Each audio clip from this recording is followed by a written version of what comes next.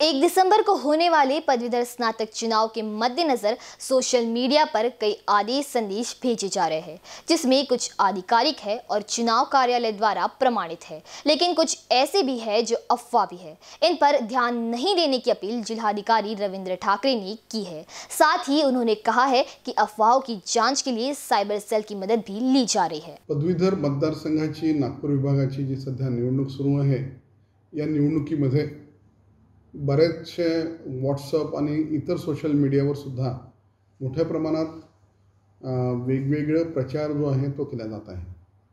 बहुतांश प्रचाराचं जे साहित्य त्याच्यातलं जे आहे त्याला जी नागपूर जिल्ह्याची आमची जी media certification and monitoring committee जी आहे याच्या माध्यमातून सर्टिफिकेशनसुद्धा करून घेतलेलं आहे आणि ती चांगली बाब आहे.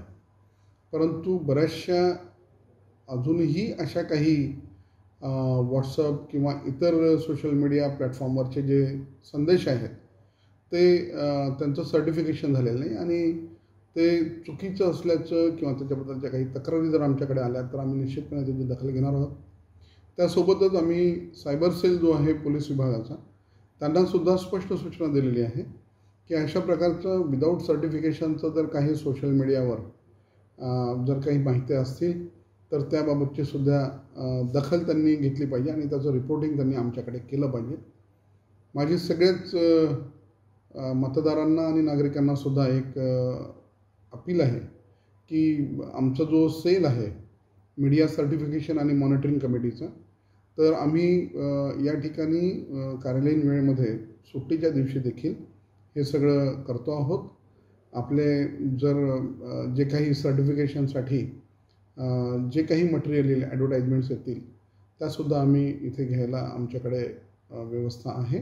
त्याचं सर्टिफिकेशनसुद्धा आम्ही करून देतो. उद्या आणि परवा म्हणजे तीस तारखेला आणि एक तारखेला जे आहे ते सुद्धा वृत्तपत्रांमध्ये आपल्याला ज्या जाहिराती उमेदवारांना किंवा पक्षांना द्यायच्या असतील त्याचंसुद्धा एक सर्टिफिकेशन करून घेणं अभिप्रेत आहे.